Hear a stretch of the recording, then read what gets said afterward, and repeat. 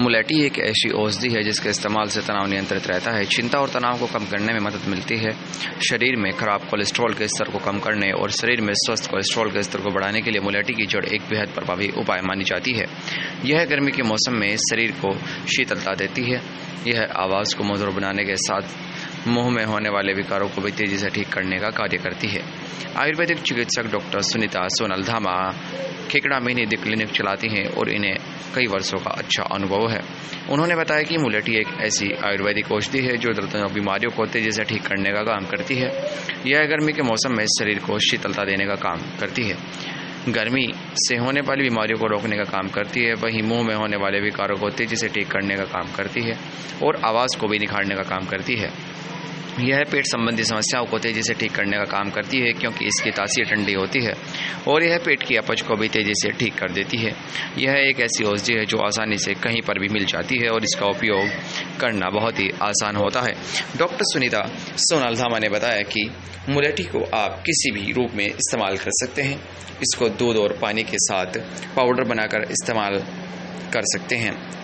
इसकी लकड़ी को आप ऐसे ही चबाकर भी इस्तेमाल कर सकते हैं। इसके सेवन से शरीर पर कोई भी दुष्प्रभाव नहीं पड़ता। इसे कोई भी व्यक्ति आसानी से प्रयोग कर स्वस्थ लाभ उठा सकता है। मुलेटी जो होती है विशेष रूप से शीतवीर्य होती है। शीतवीर्य यानी हम उसमें गर्मी में अगर उसका प्रयोग करेंगे तो हमें वो शीतलता प्रदान करती है और गर्मी को कई प्रकार से वो बीट करती है।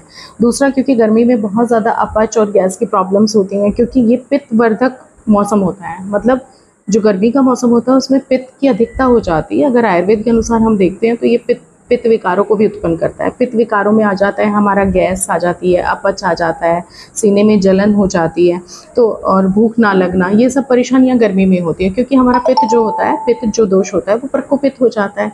इसलिए इस तरह की परेशानियाँ आती है। जो मुलहटी होती है, वो इन सब समस्याओं में राहत दिलाती है, क्योंकि वो शीतल, शीत द्रव्य है। अगर अगर उसकी हम बात करते हैं तो वो शीत वीर्य है। शीत वीर्य यानी शीतलता प्रदान करने वाली और पित्त का शमन करने वाली। और क्योंकि इस मौसम में पित्त वर्धक हो जाता है, पित्त कुपित हो जाता है, उसको शांत करने में मुलेटी का बहुत फ़ायदा होता है। तो पेट की सभी बीमारियों में, सीने में जलन है या एसिडिटी बहुत ज़्यादा लग रही है या गैस आपको बहुत ज़्यादा लग रही है या एपच की समस्या है, खाना है, उसको प्रॉपर डाइजेस्ट नहीं कर पा रहे हैं हम तो इन सब कामों में मुलेटी का बहुत अच्छा उपयोग है। और इसको हम एक चम्मच रोज़ प्रयोग कर सकते हैं।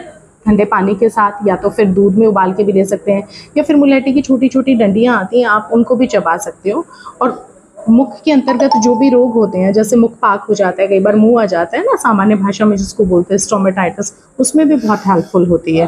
दूसरा, हमारे स्वर को अच्छा करती है। अगर गला बैठ गया है किसी वजह से, या कोई व्यक्ति इस तरह का कार्य करता है, यानी प्ले करता है, या भाषण ज़्यादा देता है, आजकल क्योंकि चुनाव का सीज़न है, नेता लोग भाषण बहुत दे रहे हैं तो मुलेटी एक बहुत अच्छा तरीका है कि अगर आप मुलेटी चबाते रहते हैं तो आपका जो स्वर यंत्र है, उसका प्रोटेक्शन होता है, और ये आवाज़ को बहुत मधुर बना देती है। इसलिए इसको मधुरा और यष्टि मधु भी बोलते हैं।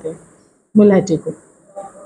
इसलिए खूब प्रयोग करना चाहिए और दूसरा अगर मुलैटी को हम लेते हैं तो ये एक एंजाइम सिक्रीज करती है जो डाइजेशन में एड करता है। इसीलिए डाइजेस्टिव भी प्रॉपर्टीज़ की होती है। तो यानी ये पित्त शामक होती है, शीतलता प्रदान करने वाली होती है, गैस और अपच में बहुत लाभकारी होती है और हमारे स्वर यंत्र के लिए, यानी थ्रॉट के लिए और आवाज़ के लिए बहुत उपयोगी है।